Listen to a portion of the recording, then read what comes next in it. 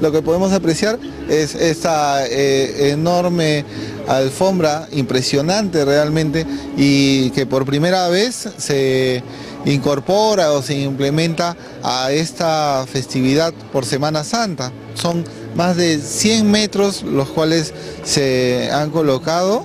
Esta alfombra tiene las características de no ser floral, sino ser a través de acerrín y viruta teñida.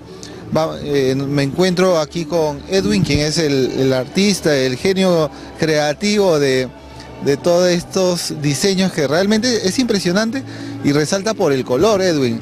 ¿Qué tal? ¿Cómo estás? Buenos muy buenos días, muy buenos días. Sí, bueno, eh, se implementó el, el arte del acerrín teñido con la viruta. Ya, bueno, comenzamos empezando a trabajar en el Callao hace 12 años y se trajo aquí a Lima el año pasado eh, a raíz de la procesión infantil, justo también de la cuadrilla 17 Señor Los Milagros, quien fue que nos abrió la puerta para comenzar a traer este arte acá y poco a poco hemos comenzado a traer el arte a Lima y bueno, ya ha tenido bastante aceptación por parte del, público. ¿Cuántas horas les tarda o les ha tardado en este caso?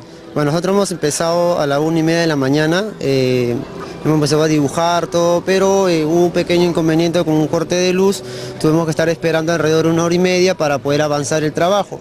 Eh, bueno, ya ahorita prácticamente son cerca de las 9 de la mañana y seguimos trabajando, ya estamos dando los últimos acabados, pero todo ahí, como se dice, ¿no? por buen camino, terminando el trabajo para que la gente pueda apreciar, sobre todo para que el Señor pueda pasar por acá.